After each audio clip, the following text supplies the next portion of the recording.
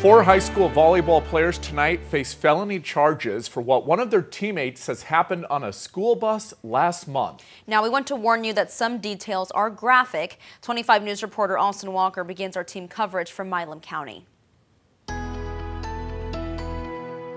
These court documents detail all the events that happened on September 21st. It started with a bus ride for an away volleyball game, but ended with four high schoolers arrested and one teammate wondering why this would happen to her. According to court documents obtained by 25 News, four Caldwell ISD volleyball players were arrested for indecency of a child. Sophia Goodman, Katie Hartman, Catherine Hart, and Marina Brinkman. It happened on Highway 190, just up the road from the Dairy Queen in Cameron.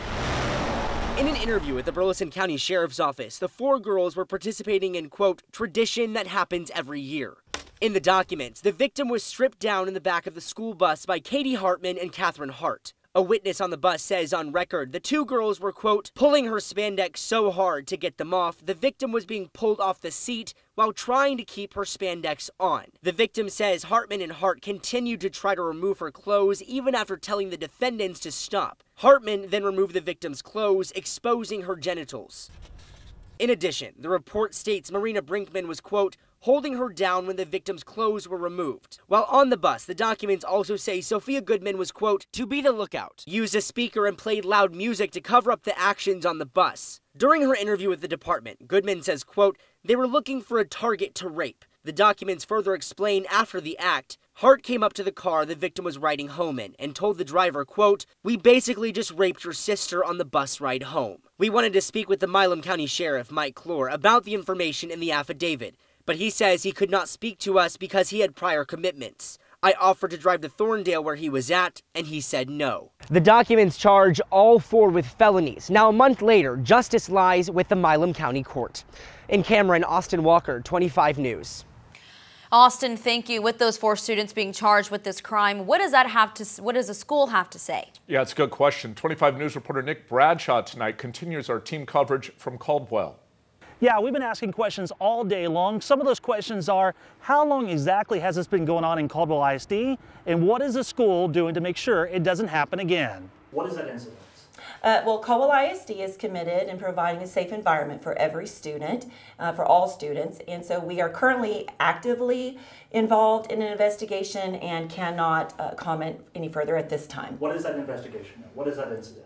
We are not able to comment any further on what the investigation details are. Four volleyball players from Caldwell High School are accused of forcibly stripping a teammate on a school bus, with four staff members on that bus. In a written statement, Superintendent Andrew Peters told us the school is investigating current and past practices. He wouldn't talk to us on camera, but sent Kim Poglash, Director of Communications for the school district. Okay, but I understand from a previous, previous statement from the superintendent that there's been ongoing issues that, um, that maybe a new principal and a new athletic director has been brought in for. Um, well, right now, Caldwell ISD, as I said before, uh, we are taking every report or any, any kind of student misconduct on any circumstance uh, that we are committed, again, to ensuring that we provide a safe environment for all students. One of those being charged is being represented by attorney Craig Greening. Yes, this is a classic case of overcharging a case. Uh, I think that if a DA would have been consulted before getting an arrest warrant, that uh, this, this never would have charged this way. Um, what do you think this was? Do you think this was a sexual assault or do you think it's something different? No, this is a classic case of a, uh, an incident where a pantsing type incident that happens a lot in our schools. Um, is it is it the right is it right to do it? No, but it is something that happens. It's a prank. According to multiple sources, what Greening calls a prank has happened for years at the school district. You know, in the affidavits, it talks about it uses the, the word rape in that affidavit. That they were looking for someone to rape. You said what was what was that?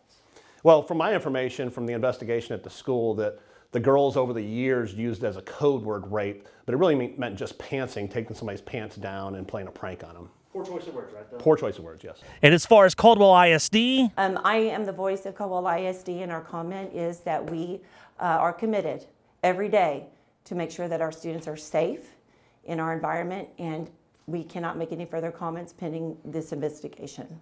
In Caldwell, Nick Bradshaw, 25 News.